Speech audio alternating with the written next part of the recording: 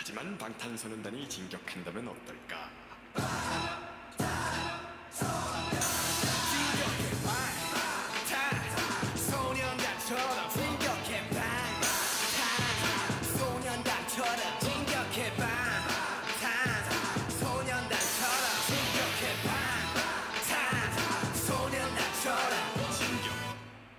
영감하지?